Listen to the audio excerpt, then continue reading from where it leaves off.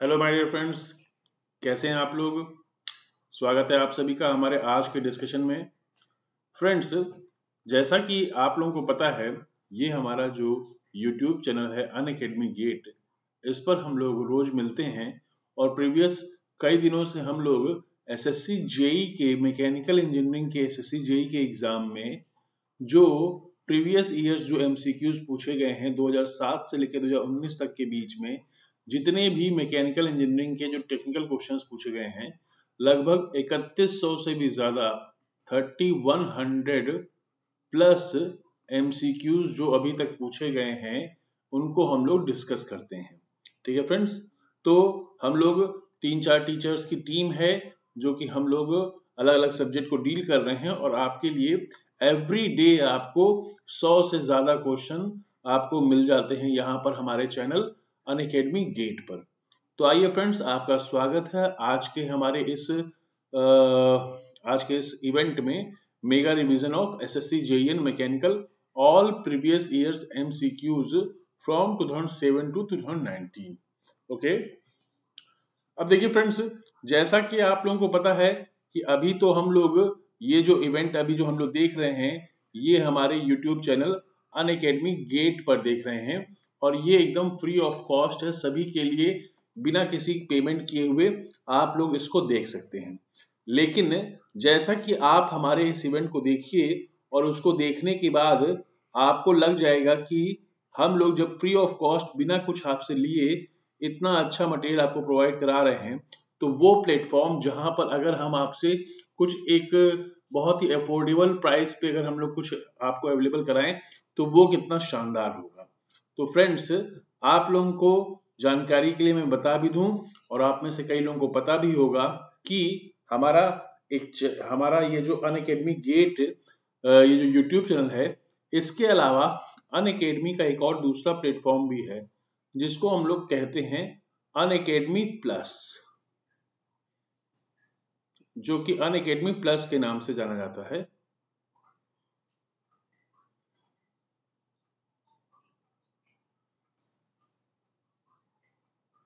अन academy plus के नाम से जाना जाता है। अब इसमें क्या होता है फ्रेंड्स अन अकेडमी प्लस में हम लोग, आप लोग कोई भी कोर्स ज्वाइन कर सकते हैं, पेमेंट करके कोई भी कोर्स ज्वाइन कर सकते हैं। और अगर आप अन अकेडमी प्लस पे कोई भी कोर्स ज्वाइन करने से पहले मेरा रेफरल कोड सर्वेश 11 का यूज़ करते हैं, मेरे रेफरल कोड सर्वेश 11 या एक और मेरा रेफरल कोड है सर्वेश 10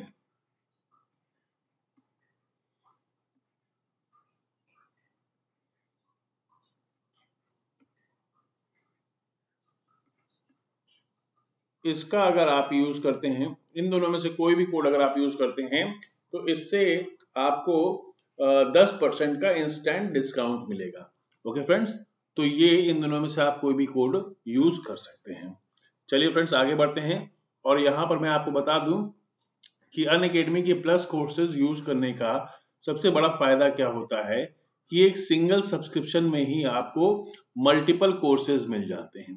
आपको ऐसा नहीं है कि थ्योरी ऑफ़ मशीन के लिए अलग से ज्वाइन करना पड़ेगा स्ट्रेंथ ऑफ़ मटेरियल के लिए अलग से ज्वाइन करना पड़ेगा, या फिर आपको थर्मोडाइनमिक्स या प्रोडक्शन या इंडस्ट्रियल सबके लिए अलग अलग आपको सब्सक्रिप्शन लेना पड़ेगा। फ्रेंड्स आप एक सिंगल सब्सक्रिप्शन लेते हो और टाइम पीरियड क्या रखते हैं? ये आपके हाथ में है।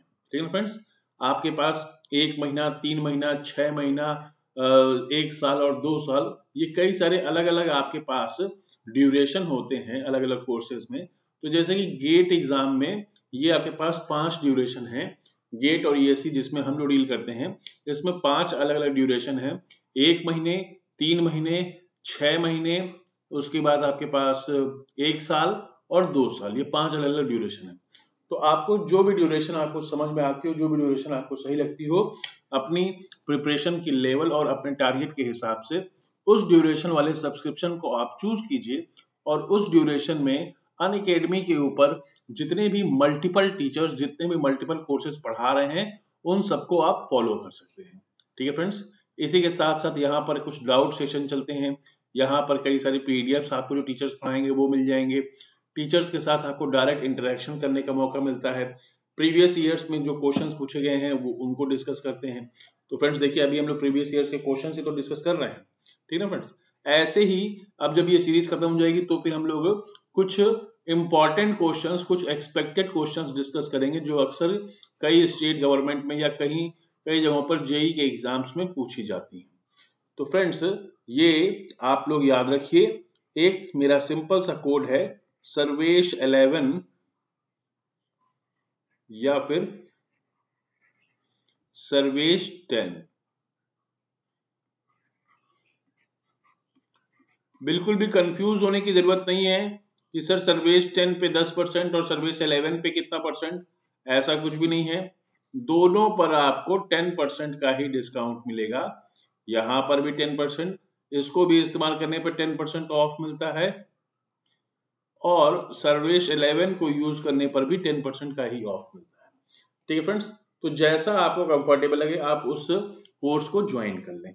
तो आइए स्टार्ट करते हैं हम लोग अपने आज के डिस्कशन को और देखते हैं इन क्वेश्चंस में क्या पूछा गया है।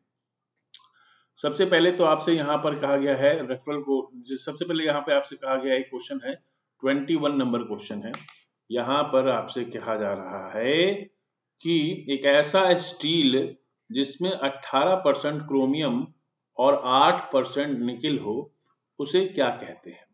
एक ऐसा स्टील जिसमें 18 परसेंट क्रोमियम और 8 परसेंट निकिल हो, उसे हम लोग क्या कहते हैं? उसे हम लोग कहते हैं ऑस्टेंस्टिक स्टेनलेस स्टील ओके अगला क्वेश्चन है the ultimate strength of steel in tension in compare to shear ठीक है ना friends in compare to shear is in the ratio of तो कल ही हम लोगों ने देखा था फ्रेंड्स कल ही हम लोगों ने देखा था कि जब कभी आपके पास शेयर स्ट्रेंथ पूछी गई थी स्टील की।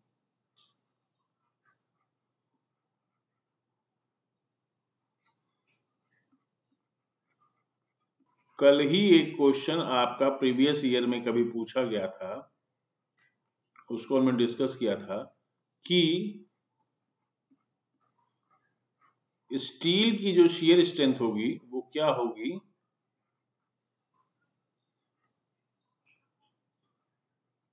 टू बाई थ्री टाइम्स होगी किसके?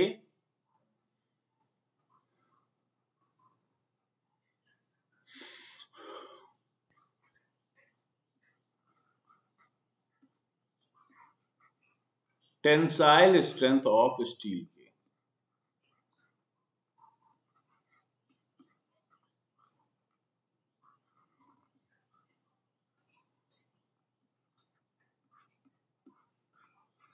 ठीक है फ्रेंड्स यानी कि अगर टेंसाइल स्ट्रेंथ मान लिया हमारे पास कुछ, जैसे मान लीजिए कुछ 300 मेगा पास्कल या 3000 मेगा पास्कल है तो इसमें आप टू बाई थ्री का मल्टीप्लाई कर दें तो ये आ जाएगा शेयर स्ट्रेंथ आ जाएगा हमारे पास कुछ 2000 मेगा पास्कल इस टाइप का एक एग्ज़ाम्पल हमने ले लिया ओके फ्रेंड्स तो अब आपसे कह क्या रहा है कि टेंशन के कंपैरिजन में शेयर का जो रेशियो है, वो क्या हो जाएगा?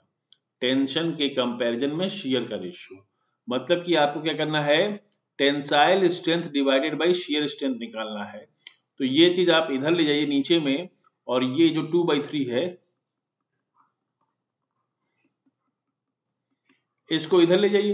तो थ्री ऊपर चला जाएगा टू नीचे आ जाएगा तो बस आपके पास क्या आ जाएगा? Tensile by shear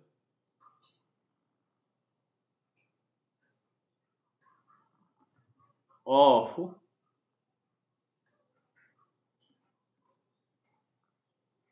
steel ये क्या हो जाएगा? ये हो जाएगा थ्री बाई टू फ्रेंड्स ये हो जाएगा थ्री बाई टू ओके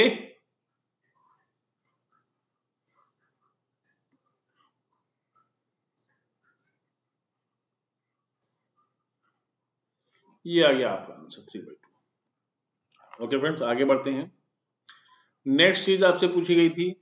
पूछा गया है 2017 में कि steel containing pearlite and ferrite is वो स्टील जिसमें परलाइट और फेराइट ये दोनों हो, वो क्या वो टफ होता है, क्या वो हार्ड होता है, क्या वो सॉफ्ट होता है, क्या वो डक्टाइल होता है। तो फ्रेंड्स इसका आंसर हो जाएगा सॉफ्ट होगा। ऐसा स्टील जिसमें परलाइट और फेराइट दोनों होंगे, वो एक सॉफ्ट स्टील होगा। आगे बढ़ने पर एक ऐसा स्टील जिसमें कार्बन परसेंटेज 0.8 से कम हो, उसे हम लोग क्या कहेंगे? क्या उसे हम लोग यूटेक्टॉइड स्टील कहेंगे? या उसे हम लोग हाइपो यूटेक्टॉइड स्टील कहेंगे? या उसे हम लोग ऑस्टेनाइट कहेंगे, या उसे हम लोग हाइपर यूटेक्टॉइड स्टील कहेंगे। तो फ्रेंड्स, आप लोगों को अच्छे से पता होगा कि 0.83 परसेंट से कम जब रहता है कार्बन कंटेंट तो उस टाइप के स्टील को हम लोग हाइपोयूटेक्टॉइड कहते हैं। ठीक है फ्रेंड्स? उसे हम लोग हाइपोयूटेक्टॉइड कहते हैं। रेंज आप लोगों को पता होगी? ज़ीरो से शुरू करके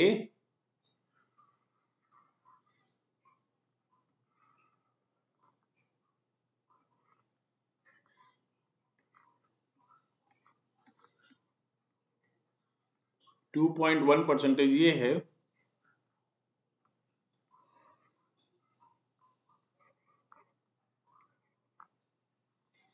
और ये है zero point eight three percent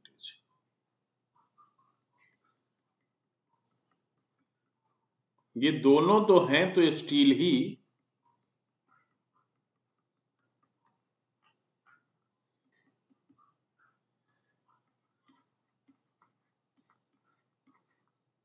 बस ये वाला हो गया हाइपो।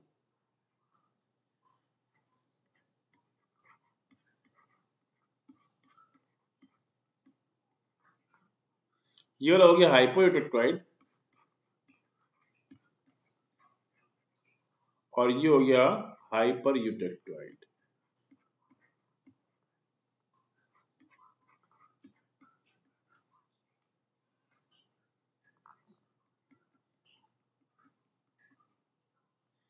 ठीक है फ्रेंड्स तो आपको ये चीज़ याद रखिएगा। मेरे ख्याल से आप में से मैक्सिमम लोगों को पता होगा। अब देखिए फ्रेंड्स होता क्या है कि हाइपर ये वर्ड याद रखिएगा हाइपर मतलब कई बार लोग कहते हैं, गुस्से में लोग कहते हैं, अरे भाई, क्यों इतना हाइपर हो रहे हो? क्यों इतना ऊपर चढ़ रहे हो? तो जो बड़ी वाली क्वांटिटी है, उसको कहते हैं हाइपर ओके और जो छोटी वाली क्वांटिटी है, उसको कहते हैं हाइपो तो याद रखिएगा, यहाँ पर आपसे कह रहा है कि below zero point eight percent zero point eight percent से कम, यानी इस वाले रीजन की आपसे बात कर रहा है तो वो हो गया हाइपोयोटेक्टोइड स्टील हो गया ओके आगे बढ़ते हैं नेक्स्ट चीज़ पूछा गया है। कि स्टील की हार्डनेस डिपेंड करती है किसके ऊपर। Hardness of steel depends upon the amount of. Hardness of steel depends upon the amount of cementite. Cementite के ऊपर स्टील की हार्डनेस डिपेंड करती है। ओके? okay? अगला क्वेश्चन पूछा गया है, a hot short metal is, एक ऐसा मेटल जो गर्म कर रखा हो और शॉर्ट मेटल हो, वो कैसा होता है? वो जब ठंडा होता है, तब ब्रिटल होता है, या जब गर्म होता है, तब ब्रिटल होता है, या फिर हर कंडीशन में ब्रिटल रहता है, या फिर हाई टेम्परेचर पे डक्टाइल होता है। फ्रेंड्स, एक शॉर्ट मेटल जो होता है, वो गर्म करने पे ब्रिटल के, ब्रिटल स्टेट में रहता है। ओके नेक्स्ट क्वेश्चन पूछा गया है। नेक्स्ट क्वेश्चन पूछा गया है कि एरिक्सन टेस्ट जो होता है, वो किस लिए किया जाता है? किसी भी मटेरियल के ऊपर एरिक्सन टेस्ट जो होता है एरिक्सन टेस्ट जो होता है, वो किस लिए किया जाता है? क्या वो हार्डनेस चेक करने के लिए करते हैं, या बेंडिंग चेक करने के लिए करते हैं, या फिर कपिंग टेस्ट के लिए करते हैं। कपिंग टेस्ट मतलब कि किस मटेरियल का कप बनाया जा सकता है। कप बनाने के लिए क्या करते हैं हम लोग? डीप ड्रॉइंग करते हैं। ऐसे हमारे पास, जैसे ये आउटर वाली जो दिख रही है आपको, ये वाली, ऐसे हमारे पास कोई एक प्लेट होती है, उसको हम लोग क्या करते हैं?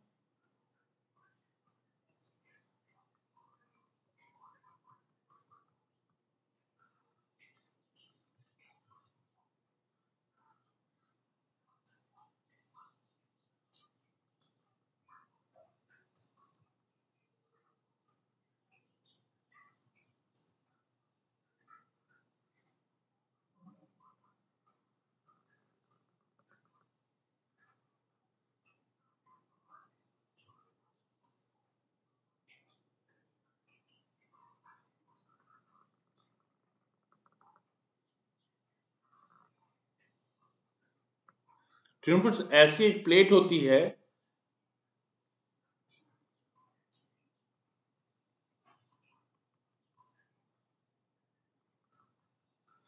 जिसको हम लोग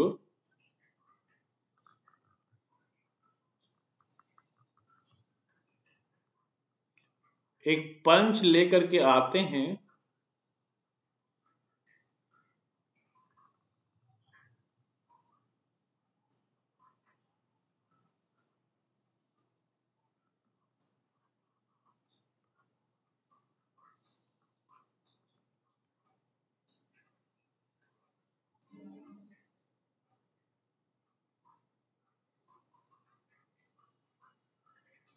और उस पंच से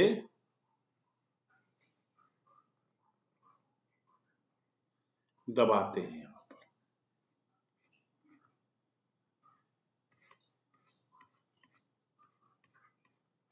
ठीक है फ्रेंड्स ऐसा करते हैं। तो जब इसको दबाते हैं तो क्या होता है कि धीरे धीरे ये जो प्लेट होती है, ये धीरे धीरे बेंड होते होते धीरे धीरे एक कप का शेप ले लेती है।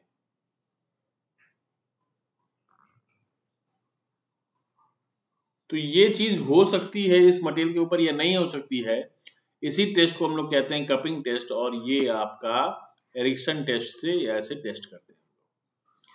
आगे पूछा गया है कि इनमें से कौन सा मटेरियल एक थर्मोसेटिंग मटेरियल नहीं है। Not a thermoset material not a thermoset material क्या ये फेनॉल या फिर फॉर्मेल्डिहाइड या बेकेलाइट और या फिर नायलॉन तो बड़ी आसानी से आप बता सकते हैं फ्रेंड्स नायलॉन एक थर्मोसेटिंग मटेरियल नहीं है। It's not a polymer it's not a thermosetting material okay आगे बढ़ें। यहाँ पर अगले क्वेश्चन में हमसे पूछा गया है अगले क्वेश्चन में पूछा गया कि इनमें से कौन सा एक थर्मोप्लास्टिक मटेरियल नहीं है? Which of the following is not a thermoplastic material इनमें से कौन सा थर्मोप्लास्टिक नहीं है? क्या पॉलीथाइलिन या पॉलीविनाइलिन क्लोराइड या पॉलीस्टाइरिन और या फिर पॉलीप्रोपाइलिन इनमें से कौन सा थर्मोप्लास्टिक मटेरियल नहीं है, आपको ये बताना है। तो फ्रेंड्स, आई होप आप लोगों को बड़े अच्छे से पता होगा कि ये जो पॉलीविनाइल क्लोराइड या पॉलीस्टाइरीन और या फिर पॉलीप्रोपाइलीन, ये तीनों जो आखिरी के जो तीन हैं, ये तीनों आपके एक थर्मोप्लास्टिक मटेरियल है। सिर्फ़ इस क्वेश्चन के हिसाब से ये जो पॉलीथाइलीन है, यही एक ऐसा मटेरियल आता है जो कि एक थर्मोप्लास्टिक मटेरियल नहीं है। ओके फ्रेंड्स आगे बढ़ते हैं। अगले क्वेश्चन में आपसे चारपी टेस्ट के बारे में पूछा गया है। मटेरियल साइंस में हम लोग किसी भी मटेरियल की कौन सी प्रॉपर्टी चेक करने के लिए चारपी टेस्ट को कंडक्ट करते हैं। बताइए फ्रेंड्स क्या ये टफनेस को चेक करने के लिए की जाती है? या फिर क्रीप स्ट्रेंथ के लिए, या फटीग स्ट्रेंथ और या फिर इलास्टिक स्ट्रेंथ फ्रेंड्स आपको पता होना चाहिए कि चारपी टेस्ट को करने का उद्देश्य किसी भी मटेरियल की टफनेस को चेक करने का होता है ओके चारपी टेस्ट को करने का उद्देश्य किसी भी मटेरियल की टफनेस को चेक करने का होता है तो ये चीज़ें याद रखिएगा। ओके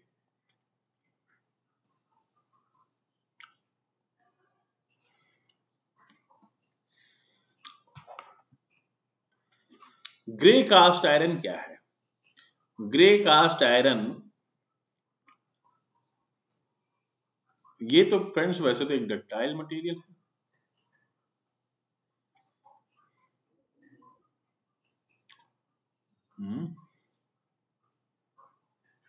इनमें से कौन सी प्रॉपर्टी होती है ग्रे कास्ट आयरन में? क्या ये ब्रिटल है या फिर इलेक्ट्रिकल कंडक्टिविटी काफ़ी कम है या फिर कंप्रेसिव स्ट्रेंथ काफ़ी कम है या इनमें से सभी?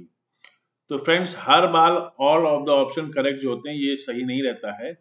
इस बार यहाँ पर लो इलेक्ट्रिकल कंडक्टिविटी ये आपका करेक्ट आंसर बन रहा है। ओके अगला क्वेश्चन, चिल्ड कास्ट आयरन के बारे में पूछा गया है। चिल्ड कास्ट आयरन क्या होता है? What is chilled cast iron?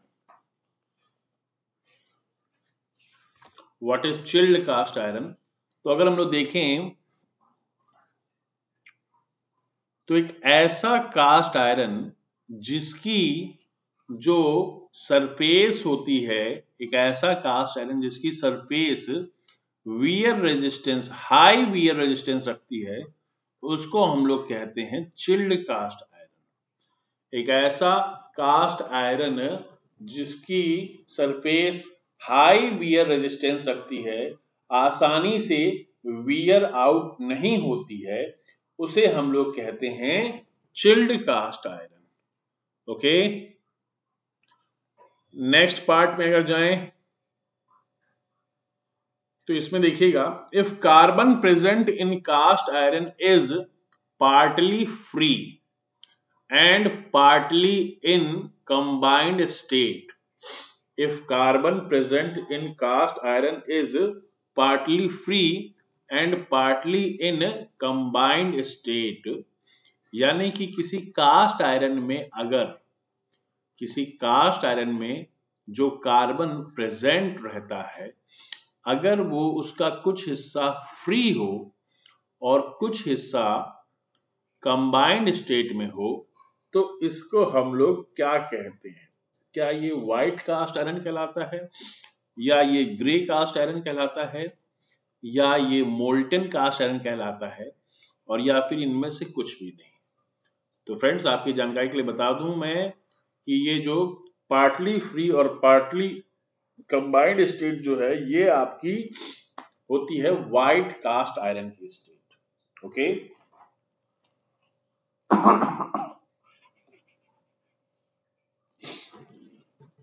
चलिए फ्रेंड्स आगे बढ़ते हैं। किसी भी अगले क्वेश्चन में क्या पूछा गया है? अगले क्वेश्चन में पूछा गया है नॉन मेटेलिक एमोर्फस सॉलिड्स की जो थर्मल कंडक्टिविटी होती है, नॉन मेटेलिक एमोर्फस सॉलिड्स की थर्मल कंडक्टिविटी के ऊपर टेम्परेचर डिक्रीज का क्या असर पड़ता है?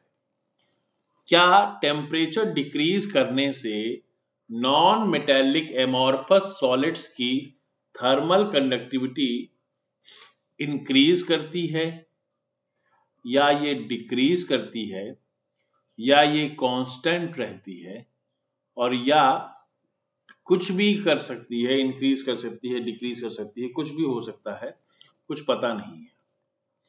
तो फ्रेंड्स आपको ये चीज़ आइडिया क्लियर होना चाहिए कि जब हम लोग टेम्परेचर डिक्रीज करते हैं टेम्परेचर डिक्रीज करते हैं तो नॉन मेटेलिक एमोर्फस सॉलिड्स की थर्मल कंडक्टिविटी इंक्रीज करती है। ओके फ्रेंड्स यानी कि आप लिख सकते हो कि for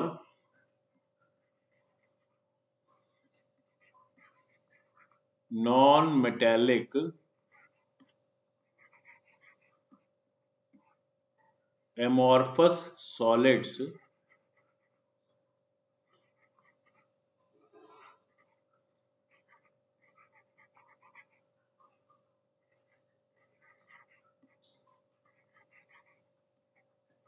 for non-metallic amorphous solids. Thermal conductivity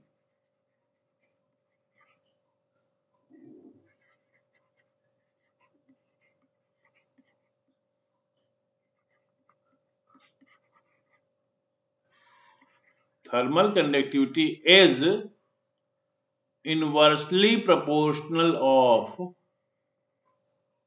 is inversely proportional of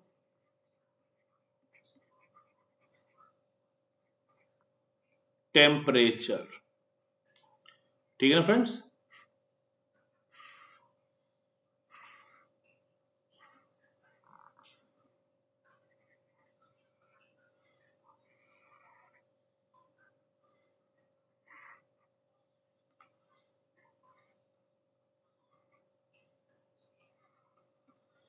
ये जो एमार्फस सॉलिड्स होते हैं, उनकी थर्मल कंडक्टिविटी टेम्परेचर के इनवर्सली प्रोपोर्शनल होती है। अगर आप टेम्परेचर घटाओगे तो थर्मल कंडक्टिविटी बढ़ेगी। अगर आप टेम्परेचर बढ़ाओगे तो थर्मल कंडक्टिविटी डिक्रीज करेगी।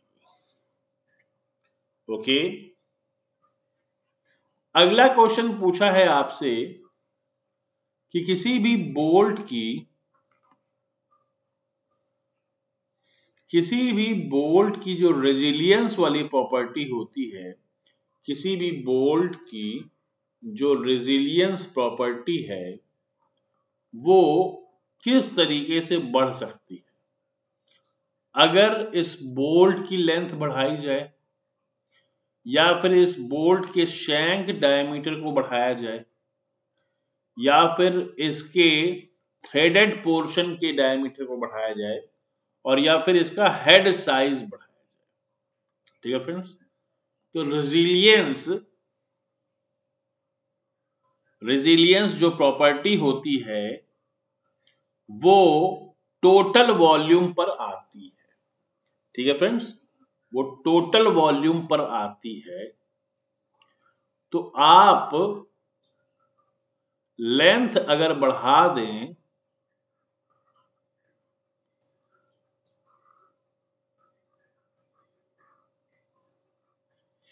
लेंथ अगर बढ़ाएँ तो इससे ये फ़र्क पड़ सकता है।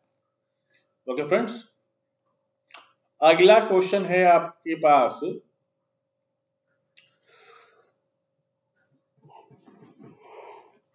कोई ऐसा मटेरियल जिसमें, कोई ऐसा मटेरियल जिसमें सभी डायरेक्शन में, चारों दिशाओं में मतलब हर एक डायरेक्शन में जो इलास्टिक प्रॉपर्टीज़ हैं, वो सेम होती हों। ऐसे मटेरियल को क्या कहते हैं? ऐसे मटेरियल को क्या आइडियल मटेरियल कहा जाता है? या फिर ऐसे मटेरियल को यूनिफॉर्म मटेरियल कहते हैं? या ऐसे मटेरियल को आइसोट्रॉपिक कहते हैं? या ऐसे मटेरियल को प्रैक्टिकल कहते हैं?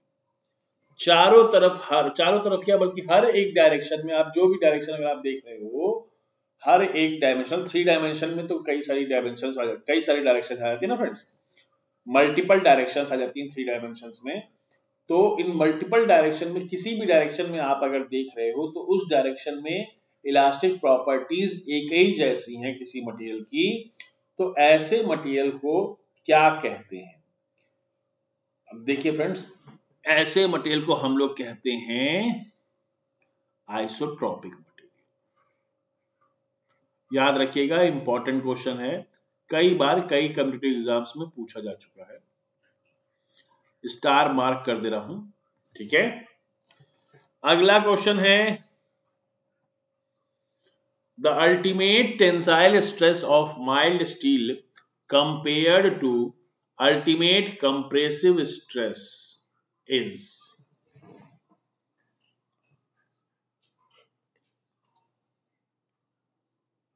mild steel की हमने टेंसाइल स्ट्रेंथ और शीयर स्ट्रेंथ के ऊपर दो क्वेश्चन हमने देखे हैं एसएससी जेई में ही पिछले कुछ सालों में पूछे हुए। लेकिन क्या टेंसाइल स्ट्रेंथ और कंप्रेसिव स्ट्रेंथ में भी कोई रिलेशन होता है? हमने तो टेंसाइल स्ट्रेंथ और शेयर स्ट्रेंथ का देखा है। कि शेयर स्ट्रेंथ जो होती है वो टेंसाइल स्ट्रेंथ के टू बाई थ्री होती है। मतलब कि अगर tensile strength three thousand mega pascal हो तो शेयर स्ट्रेंथ जो होती है वो टू थाउज़ेंड मेगा पास्कल आ जाती है। अब यहाँ पर आपको बताना है कि क्या कंप्रेसिव स्ट्रेस के कंपैरिजन में जो टेंसाइल स्ट्रेस आ रहा है माइल्ड स्टील का अल्टीमेट पोजीशन में, क्या उन दोनों में कोई डिफरेंस होता है? तो फ्रेंड्स सेम मोर लेस या मोर और लेस जो भी पूछा गया है तो इस क्वेश्चन का आंसर हो जाता है ए पार्ट ओके इस क्वेश्चन का आंसर होता है ए पार्ट अगली चीज़ आपसे पूछी गई है. The Young's modulus of a wire is defined as the stress, is defined as the stress which will increase the length of wire which will increase the length of wire compared to its original length क्या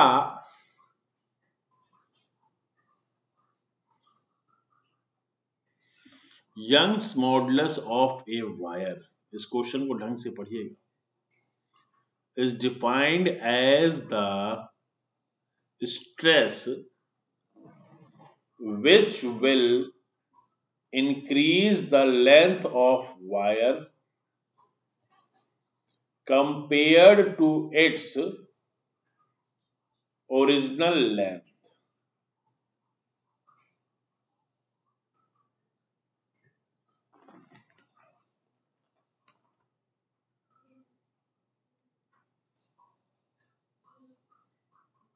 Okay, friends.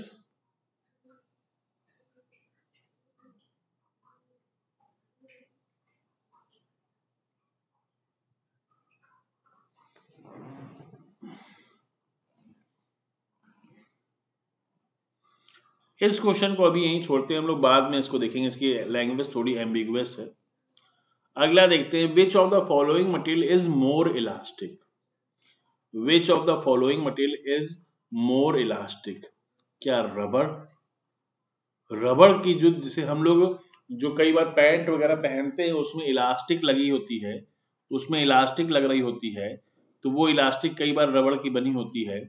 तो क्या रबड़ या फिर plastic या फिर brass और या फिर स्टील, इन चारों में से कौन सा मटेरियल है जो कि ज़्यादा इलास्टिक है, most elastic?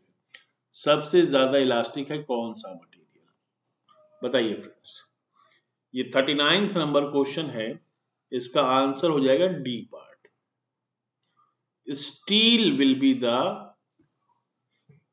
most elastic material among these four material steel की इलास्टिसिटी बहुत हाई होती है। स्टील की इलास्टिसिटी बहुत हाई होती है। रबड़ प्लास्टिक और ब्रास के कंपैरिजन में। ओके आगे अगर बढ़े तो नेक्स्ट क्वेश्चन में देख सकते हैं। नेक्स्ट क्वेश्चन में पूछा गया है कि the property of material the property of a material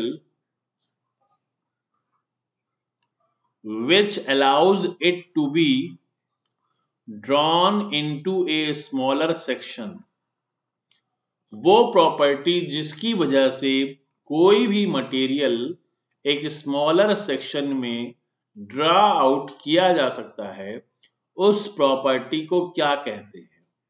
क्या इसे प्लास्टिसिटी कहते हैं, या इसे डक्टिलिटी कहते हैं, या इसे इलास्टिसिटी कहते हैं, और या फिर इसे मैलिएबिलिटी कहते हैं?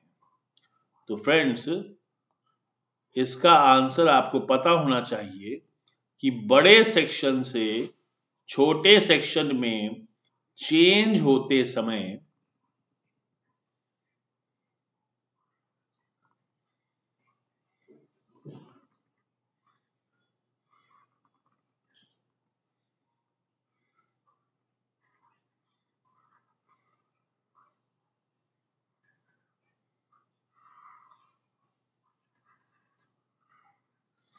बड़े सेक्शन से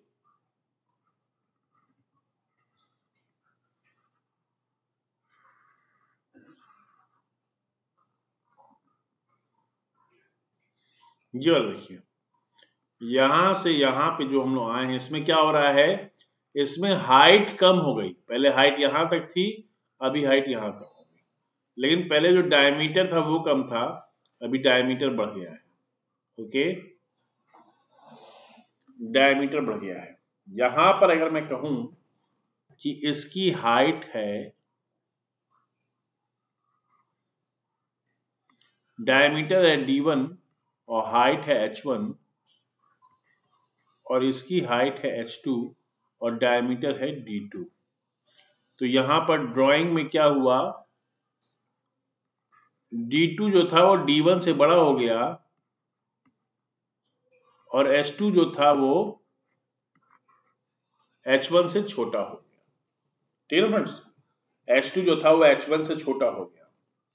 तो इस केस में इसे हम लोग कहते हैं ड्राइंग और ये जो ड्राइंग की प्रॉपर्टी होती है, ये मैलिएबिलिटी की वजह से किसी भी मटेरियल में आती है। ठीक है फ्रेंड्स ड्राइंग की प्रॉपर्टी मैलिएबिलिटी की वजह से किसी भी मटेरियल में आती है। आगे बढ़ते हैं। नेक्स्ट क्वेश्चन में पूछा गया है कि इनमें से वो कौन सा मटेरियल है जिसकी वर्क हार्डनिंग होने की टेंडेंसी काफ़ी ज़्यादा होती है। High tendency of to get work hardened क्या लेड क्या एल्युमिनियम क्या ब्रास और क्या सिल्वर इन चारों में से वो कौन सा मटेरियल है जिसकी इन चारों में से वो कौन सा मटेरियल है जिसकी वर्क हार्डनिंग अच्छे से हो जाती है? वो है ब्रास फ्रेंड्स उस मटेरियल का नाम है ब्रास जिसकी वर्क हार्डनिंग काफ़ी अच्छे से कराई जा सकती है। अगला क्वेश्चन है सीमेंटेड कार्बाइड सिरेमिक डायमंड और alloy steel cemented carbide ceramic diamond और एलॉय स्टील में से हार्डेस्ट नोन मटेरियल कौन सा है? तो फ्रेंड्स मेरे ख्याल से इस क्वेश्चन का एकदम सही आंसर आना चाहिए आप सभी लोगों की तरफ़ से, क्योंकि ये एक ऐसा क्वेश्चन है जो कि मेरे ख्याल से क्लास टेंथ के स्टूडेंट से पूछा जाए तो वो भी बता सकता है, आपको इसके लिए किसी भी डिप्लोमा या डिग्री की ज़रूरत नहीं है।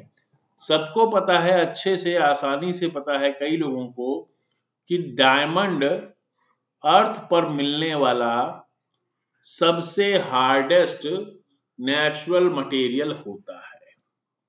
ओके और इन चारों में तो ऑब्वियसली होता ही होता है। आगे बढ़े। नेक्स्ट क्वेश्चन में पूछा गया है कि इन चारों में से, इन चारों में से वो कौन सा मटेरियल है जो कि आइसोथर्मल हार्डनिंग से प्राप्त किया जाता है? क्या सीमेंटाइट है या क्या सोरबाइट है या फिर क्या ये ट्रूसाइट है और क्या फिर ये बेनाइट है? Isothermal hardening. आइसोथर्मल हार्डनिंग के दौरान सीमेंटाइट, सोरबाइट, ट्रूसाइट और बेनाइट में से क्या बनता है? तो फ्रेंड्स आपको पता रहना चाहिए कि हार्डनिंग प्रोसेस के दौरान बेनाइट का फॉर्मेशन होता है तो ये हमारे क्वेश्चन का आंसर हो गया। अगला क्वेश्चन पूछा गया है कि इन चारों में से किसका मेल्टिंग पॉइंट टेम्परेचर बढ़ाने पर सबसे पहले मेल्ट हो रहा हो, वो कौन सा मटेरियल है? इन चारों में से किस मटेरियल का मेल्टिंग पॉइंट लोवेस्ट है? क्या वो लो कास्ट आयरन क्या वो high cast iron high carbon क्या वो लो कार्बन स्टील क्या वो हाई कार्बन स्टील क्या वो कास्ट आयरन और क्या वो रॉट तो देखिए फ्रेंड्स ये जनरल नॉलेज वाली बात है कि 1450 डिग्री सेल्सियस कास्ट आयरन का मेल्टिंग पॉइंट होता है जो कि इन चारों में सबसे लोवेस्ट पाया जाता है।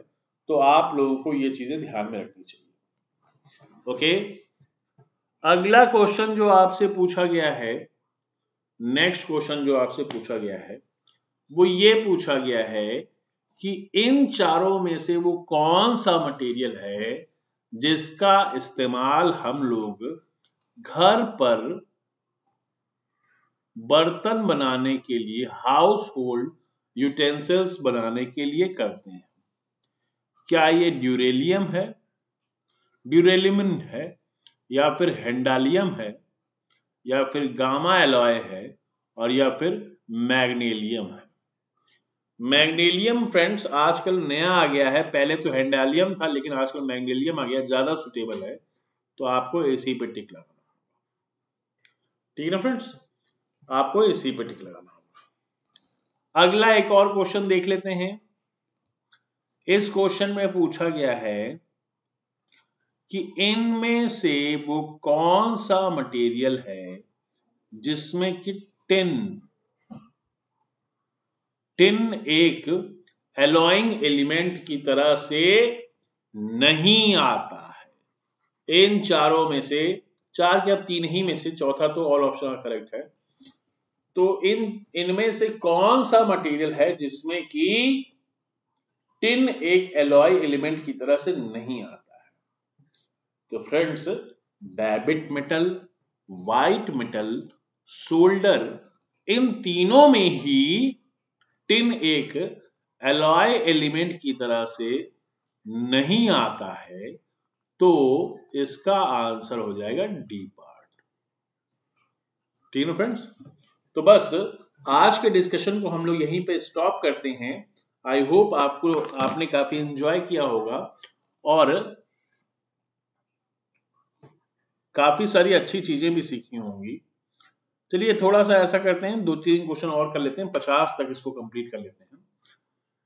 अब देखिए, इसमें पूछा गया है कि माइक्रोस्कोप के अंदर जब हम लोग किसी भी फेराइट मटेरियल को माइक्रोस्कोप से देखते हैं तो वो कैसा दिखाई देता है? क्या वो एकदम सफ़ेद दिखता है या फिर थोड़ा सा लाइट कलर का दिखता है या फिर डार्क कलर का दिखता है या इनमें से कोई भी नहीं? तो फ्रेंड्स डेफिनेटली जो फेराइट होता है, जब माइक्रोस्कोप से देखा जाता है तो थोड़ा लाइट कलर का दिखता है। ओके नेक्स्ट क्वेश्चन है कि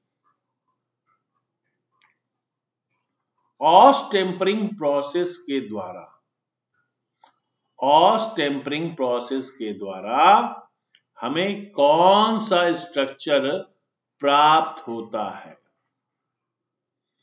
क्या हमें सोरबाइट मिलता है? क्या हमें बेनाइट मिलता है? क्या हमें मार्टन साइट मिलता है?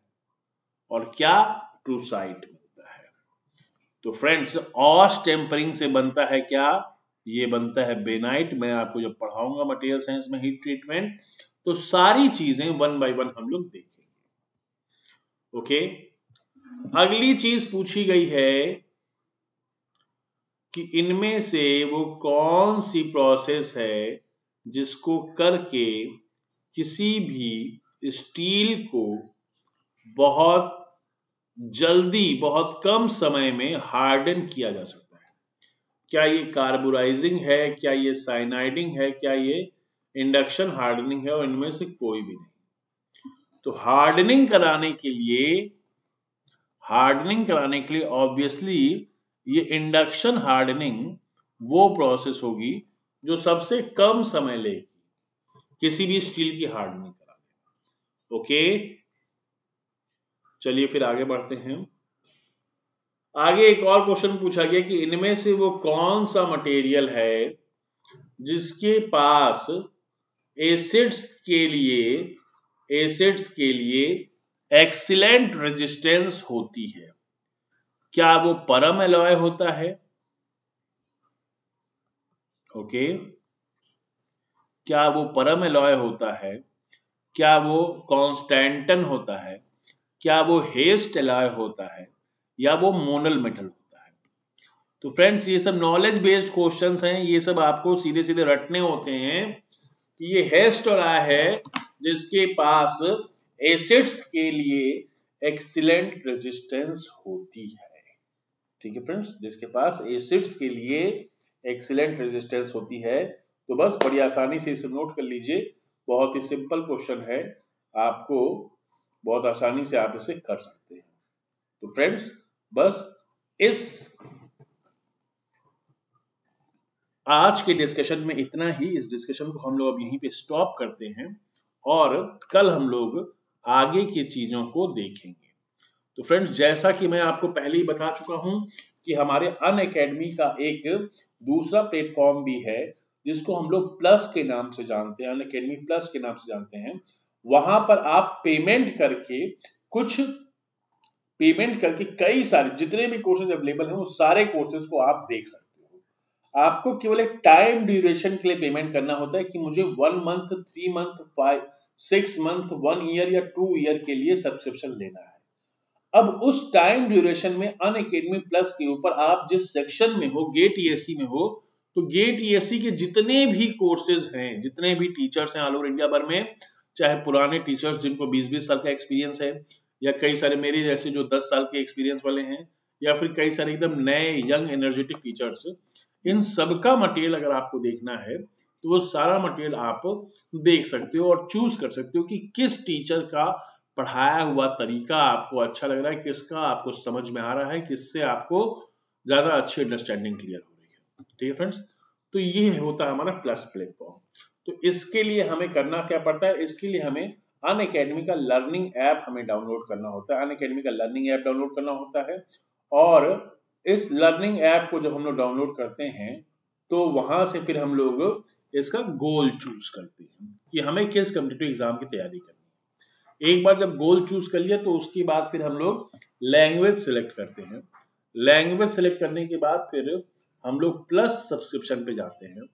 प्लस सब्सक्रिप्शन में ये देखते हैं कि कौन सा सब्सक्रिप्शन लेना है, क्या एक महीने का, तीन महीने का, छह महीने का, बारह महीने का, या चौबीस महीने का।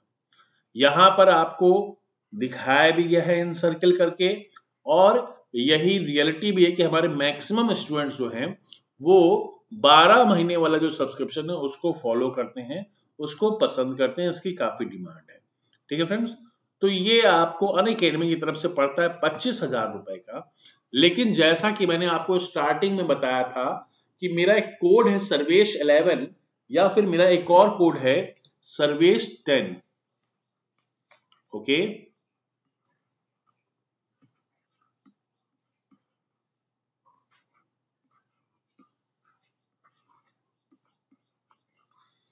इन दोनों कोड में से आप किसी भी कोड को इस्तेमाल करें और कोई भी प्लस पे कोई भी कोर्स परचेज करें तो आपको इंस्टेंटली 10 परसेंट का डिस्काउंट मिलता है। तो आपको इंस्टेंटली 10 परसेंट का डिस्काउंट मिलता है और ये जो गेट ईएससी का जो वन ईयर का सब्सक्रिप्शन जो अन अकेडमी की तरफ़ से पच्चीस हज़ार रुपए का है, वो आपको पड़ जाता है बाईस हज़ार पाँच सौ रुपए का। पच्चीस सौ की आपको इंस्टेंट डिस्काउंट मिल जाता है। अब ये जो बाईस रुपए है, ये आप इंटरनेट बैंकिंग या यूपीआई या कई सारे वैलेट जैसे कि पेटीएम फ्रीचार्ज से भी आप पेमेंट कर सकते हैं। वन टाइम में सिंगल पेमेंट भी कर सकते हैं। अगर आपके पास पैसे नहीं है, तुरंत आपके पास इस समय पैसे नहीं है तो आप क्या कर सकते हो? आप क्रेडिट कार्ड के थ्रू भी पेमेंट कर सकते हो।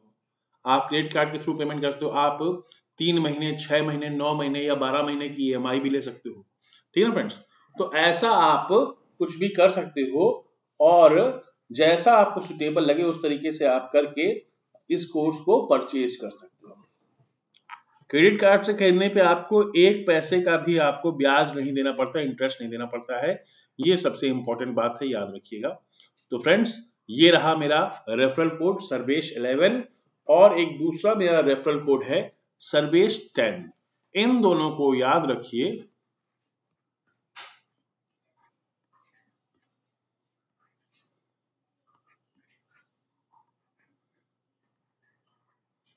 इन दोनों को याद रखिए। इनमें से किसी भी को भी आप यूज़ करके मेरा कोर्स मतलब प्लस पे आप कोई भी कोर्स आप ज्वाइन कर सकते हैं और आपको 10 परसेंट का इंस्टेंट डिस्काउंट मिलेगा। ठीक है ना फ्रेंड्स ऐसा नहीं कि सर्विस 10 को यूज़ करने पे 10 परसेंट और सर्विस 11 को यूज़ करने पे 11 परसेंट। बिल्कुल भी कंफ्यूज मत होइएगा। इन दोनों को ही इस्तेमाल करने से आपको 10 परसेंट का ही डिस्काउंट मिलता है। तो जाइए फ्रेंड्स और कई सारे कोर्सेज जो आपका इंतज़ार कर रहे हैं, जिनका यूज़ करने से आपकी प्रिपरेशन काफ़ी अच्छी हो सकती है, उनको आप परचेज कीजिए। ठीक है फ्रेंड्स तो बस इस वीडियो में इतना ही। इस वीडियो को अब यहीं पे स्टॉप करते हैं। आगे चलते हैं। कल फिर से मुलाकात करेंगे। तब तक के लिए wish you good luck and thank you